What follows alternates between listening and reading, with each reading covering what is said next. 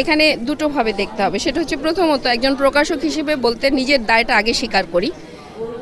যে একজন প্রকাশক হিসেবে আমি কোনোদিনই এই জাতীয় সেলিব্রিটির বই প্রকাশ করব না, যদি না সেটা সত্যিকারের বই হয়ে থাকে। এখন আপনি যাদের নাম বললেন, যদিও আমি মানে এদের কথা কখনো উচ্চারণই করি না।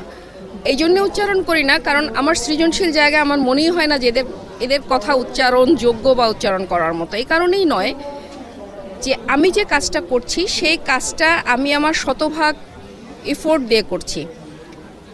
যে সেলিব্রিটিদের কথা বললেন, এরা কি আদৌ বই লেখার মতো? আপনার কি মনে হয়? আপনার, আমার আমার ধরেন আমি খুব ছোট একটা মানুষ, ক্ষুদ্র জ্ঞানে, আমার এই ক্ষুদ্র জ্ঞানেও আমি খুঁজে পাই না তারা কখন বই লেখেন। বইয়ের মতো একটা সেন্সিটিভ জায়গায় তারা কীভাবে সময় দেন? যেহেতু বাইরে তাদের এত এত সময় দেওয়ার আপনি, আমি সবাই মানুষ। আমাদের মূলত সময় কিন্তু চব্বিশ ঘন্টায়। আপনার জন্য সময় কিন্তু আটচল্লিশ ঘন্টায় দিন হয় না, আমার জন্যও না। তাহলে এই সময়ের মধ্যে তারা কি করে সময় পান? এত কাজ করে আবার বই লেখার মতো। আমি তো বই লেখার মতো একটা কাজ করে আর কোনো কাজই করতে পারি না। তাহলে মানে এদের মধ্যে তো সুপার পাওয়ার নেই।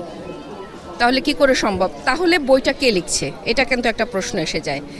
যে তাহলে কোনো ঘোস্ট রাইটারের অস্তিত্ব আমরা কিন্তু ভাবতেই পারি এখানে। আচ্ছা এই ঘোস্ট রাইটার দ্বারা লিখিত বই একজন প্রকাশকের কাছে কাছে যখন আসে, প্রকাশক স্রেফ বাণিজ্যের চিন্তা করে, শুধুমাত্র ব্যবসার চিন্তা করে এ জাতীয় বই প্রকাশ করবেন বা এ জাতীয় বই মেলায় আনবেন এবং মেলার পরিবেশকে ক্ষুণ্ণ করবেন, এটা আসলে কোনোভাবেই কাম্য না। এই জন্য বললাম যে দায় শুধুমাত্র তাদের না, এইসব সকল সেলিব্রিটিদের না, দায় আমাদের যারা প্রকাশক আছেন বা আমরা যারা এ করছি, তাদেরও আছে। কারণ আমরা পাঠককে শুধু বিভ্রান্ত করছি না, বিশৃঙ্খল করছি। এবং সে ব্যাপারে সহযোগিতা করছি। এটা খুব অ্যালার্মিং একটা ব্যাপার।